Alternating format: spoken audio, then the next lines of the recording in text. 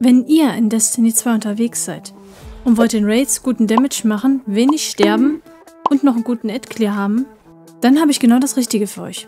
In diesem Video zeige ich euch drei Hunter-Builds, womit ihr guten Schaden machen könnt, wenig sterbt oder kaum und guten Ad-Clear habt. Sollte euch das Video gefallen, könnt ihr gerne einen Kommentar und einen Like da lassen. Und dann geht's jetzt weiter. Bild Nummer 1 ist ein Damage Setup, was ich auf dem Hunter eigentlich jedes Mal spiele. Fangen wir erstmal mit der Super an. Hier spiele ich das Klingfeuer, eine sehr gute Ulti. Je nachdem, was ihr für einen Boss habt und wisst, okay, der hat jetzt eine große kritische Hitbox oder es wird eine Göttlichkeit gespielt, könnt ihr auch sehr gerne den Kanonenmeisterschützen spielen. Aber wenn ihr vor allen Dingen auch mehrere Phasen habt, würde ich auf jeden Fall das Klingfeuer empfehlen. Diese Ulti ist schneller wieder voll und ist auch vor allen Dingen auch schneller wieder draußen. Man drückt einmal den Knopf und dann ist gut. Man kann weiter schießen. Bei der Golden Gun muss man ja dreimal schießen. Dann habe ich waghalsiges Ausweichen dabei. Ähm, die drei Messer auf jeden Fall. Hier ist einfach der Vorteil, wenn ihr alle drei Messer kritisch im Kopf trefft, sind, ist der Gegner meistens direkt weg und ihr habt den Nahkampf einfach wieder. Dann habe ich noch die heilende Granate dabei. Dann auf mein Zeichen als Aspekt.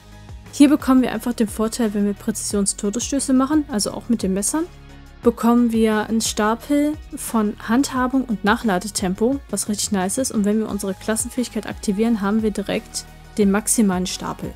Und dann habe ich noch dabei Mercenida. Unsere Meisterschützen Golden Gun hat eine erhöhte Dauer halt, aber wir hauen die eh direkt raus, deswegen ist das da nicht so schlimm. Unser Klingenfeuer schmeißt mehr Projektile, was mehr Damage ist. Und der Vorteil ist auch noch, wenn wir halt, während wir strahlend sind, mit unseren Messern Gegner killen, dass wir halt unsere Messer sofort wiederbekommen. Dann Fragmente habe ich dabei Glut des Trotzes. Dann habe ich noch Glut des Empyreaners. Dann habe ich noch Glut des Versenks. Und dann habe ich noch dabei Glut der Asche. Und dann habe ich noch Glut der Fackel. Wenn wir Gegner mit unserem Nahkampfangriff nur treffen, also mit den Messern, werden wir strahlend. Das muss man nicht unbedingt drin haben. Wenn man vor allen Dingen einen Warlock halt mit einem Brunnen dabei hat, wird man automatisch strahlend. Ich habe es halt gern dabei für den Ad Clear, dass ich mich halt selber strahlend mache. Hier kann man aber halt ein bisschen rumspielen. Zum Beispiel kann man hier noch Blut der Strahlen reinnehmen. Wenn man jetzt weiß, okay, der Gegner ist jetzt nicht so groß oder ist ein bisschen weiter weg, wie zum Beispiel jetzt bei Krota, die Hexe, nehme ich das sehr gerne rein, weil einfach dann die Projektile eine bessere Zielerfassung haben und nicht alles daneben geht, wenn ich Klingfeuer spiele. Man kann auch noch Akkus spielen. Hier ist aber halt das Problem, dass immer nur ein Hunter, wenn ihr mehrere Hunter seid, nur Akkustab spielen kann.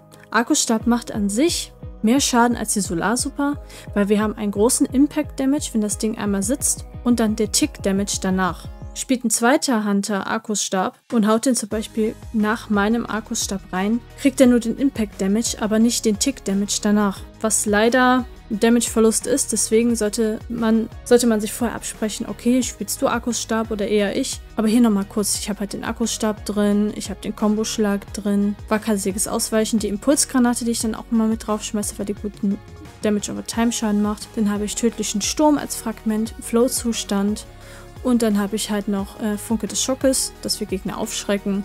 Funke des Feedbacks, wenn wir Nahkampfschaden erleiden, erhöht sich kurzer Zeit unser Nahkampfschaden nochmal und wir kriegen Belastbarkeit drauf. Das ist für den Ad-Clear davor ganz gut. Äh, wenn wir ein aufgeschrecktes Ziel töten, bekommen wir eine ionische Spur. Durch die ionischen Spuren bekommen wir halt schneller unsere Fähigkeiten wieder und das ist halt echt nett für den Ad-Clear davor. Und dann halt noch Funke der Resistenz. Wenn ich Gegner, wenn ich von Gegnern umgeben bin, bekomme ich weniger Schaden. Aber das ist nur die Alternative. Schaden. Gehen wir kurz zu den Mods rüber. Auf dem Kopf habe ich schwere Munitionsfinder plus Speer. Dann bin ich ein sehr großer Fan von strahlendes Licht. Wenn wir nämlich unsere Super aktivieren, erhöht sich die Rüstungsladung von einem Verbündeten im Umkreis um einen. Und wenn die einen anderen Fokus drin haben als wir, also jetzt zum Beispiel Solar und die anderen haben jetzt Leere drin oder so, dann bekommen die sogar zwei Rüstungsladungen. Und wir wissen ja, Rüstungsladungen sind gut dafür, um unseren Damage zu pushen. Man kann auch noch mächtige Freunde reinnehmen.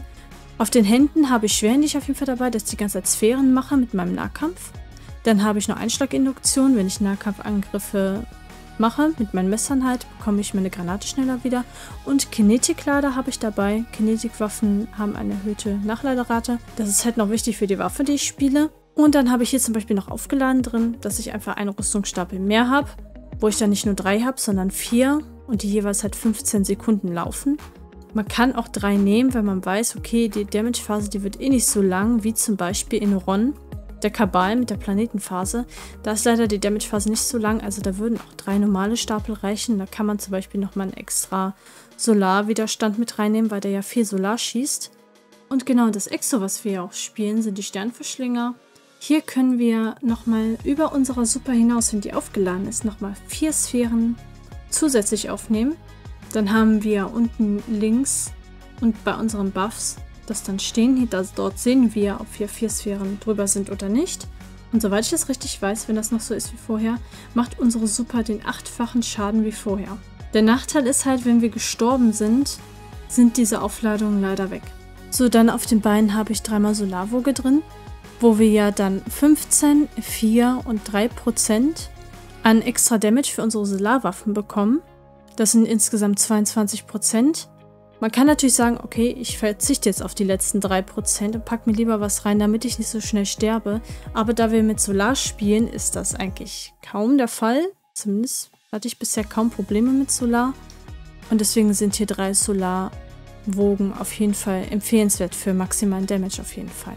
Dann auf dem Umhang habe ich einmal Zeitausdehnung, weil sobald wir nämlich eine Woge drin haben, hält unsere Rüstungsladung nicht an, sondern zerfällt mit der Zeit. Mit einer Zeitausdehnung haben wir eine 15-sekündige Rüstungsladung. Wie schon gerade sagte, werden halt nach 15 Sekunden wird die erste aufgebraucht, dann die zweite, dann die dritte, je nachdem, wenn wir vier haben, haben wir noch ein bisschen mehr Zeit. Aber ich würde erstmal sagen, eine reicht. Dann mächtige Anziehung habe ich noch drin. Sorgt nämlich dafür, dass wenn wir ausweichen, alle Sphären in der Nähe aufsammeln. Dadurch halt zum Beispiel, wenn wir auf den Beinen drin haben, dass wir Leben regenerieren, wenn wir eine Sphäre aufnehmen, direkt Leben bekommen. Oder halt auch unsere Damage-Woge sofort losgeht. Und dann habe ich halt einfach nochmal Bomber drin, dass die Granate einfach sich schneller wieder auflädt. Mein Artefakt sieht aktuell so aus. Hier finde ich eigentlich nur die letzten beiden Mods sehr wichtig, weil die halt dafür helfen, dass wir mehr Schaden machen können und vor allen Dingen, ähm, dass wir auch die Gegner schwächen, wenn wir mehrere Präzisionstreffer hintereinander gegen den Gegner machen. Zu den Waffen, hier habe ich einmal Isanagi, dann Kalos Mini Tool, einfach was für den Ad-Clear ganz gut ist. Man kann auch Double Special spielen und hier auch zum Beispiel direkt ein Fusionsgewehr benutzen mit Boss-Schaden oder halt, wie ich das hier habe, ein Spurgewehr und dann habe ich hier einmal Apex Räuber, den man ja aus dem Last Wish jetzt bekommen kann. Den kann man ja craften. Ich habe ihn in zwei Varianten. Und zwar habe ich einmal Wiederaufbau und Locken und Wechseln, also Bait and Switch, und einmal mit explosives Licht. Vom Damage her ist Locken und Wechseln schneller, denn hier geht es halt darum, dass man mit den beiden anderen Waffen vorher ein bisschen Schaden machen muss. Dann wechselt man auf diese Waffe und die hat einen erhöhten Damage.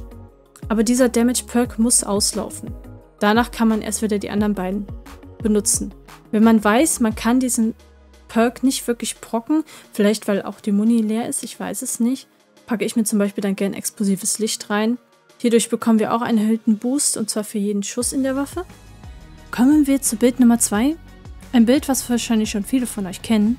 Hier bin ich auf Arkus, habe die Sturmsammlung drin, waghalsiges Ausweichen, die Impulsgranate, tödlicher Sturm und dann haben wir noch im Flow-Zustand drin Fragmente Funke des Stalkers, Funke des Feedbacks, Funke der Ion und dann noch Funke der Resistenz. Dann auf dem Kopf habe ich schwere Munitionsfinder und schwere Munitionsspeer, dann harmonischer Siphon und unser Exo. Wir haben hier Handschlag des Lügners.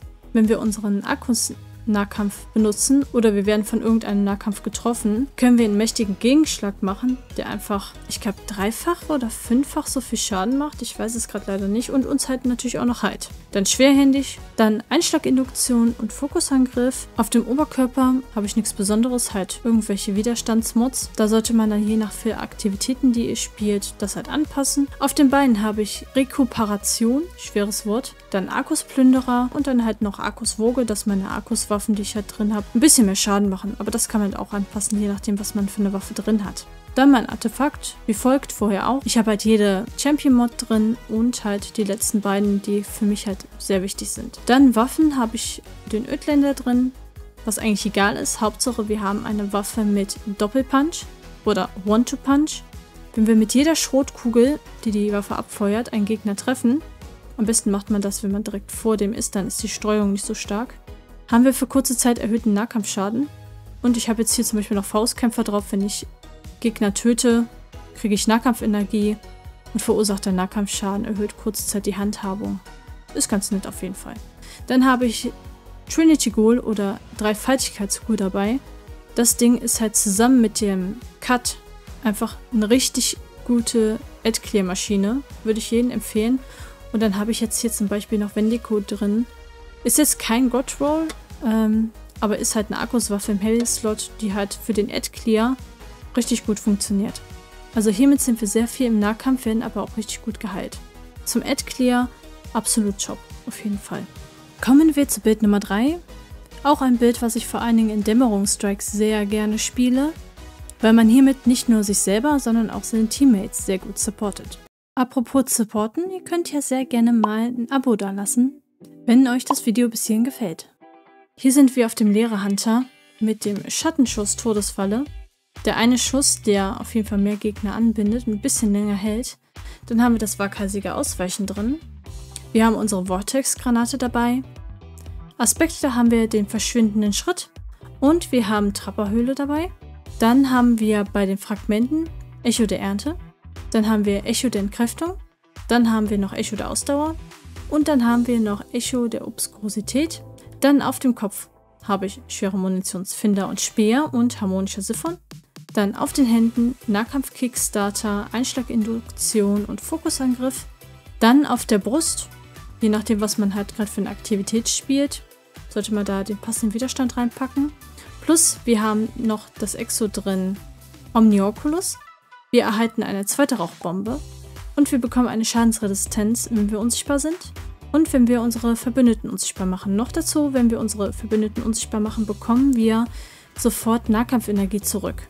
Wenn wir dann auch noch nicht nur einen, sondern vielleicht zwei oder drei Verbündete unsichtbar machen, bekommen wir eine ganze Ladung wieder zurück. Auf den Beinen habe ich einmal Rekuperation. Ich liebe dieses Wort. Sphären der Macht aufzunehmen, gewährt uns Gesundheit. Dann Regeneration, Sphären der Macht aufzunehmen, verringert die Abklingzeit vom Nahkampf. Und dann habe ich noch stapelweise dass wenn wir eine Sphäre der Macht aufnehmen, dass wir nicht nur eine Rüstungsladung bekommen, sondern zwei. Das passt perfekt mit Nahkampf-Kickstarter.